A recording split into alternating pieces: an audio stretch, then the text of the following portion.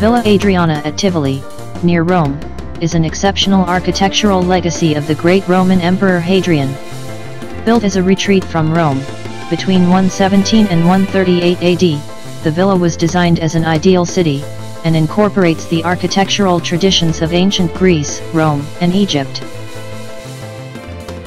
After suffering damage and neglect, for many centuries after Hadrian's death in 138 AD, the site was eventually rediscovered in 1461. The serenity of the site, inspired a renewed interest in classical architecture.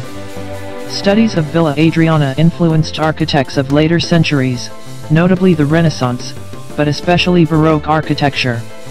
Its remarkable achievement in design, continued to exert significant influence on notable architects and designers of the modern era.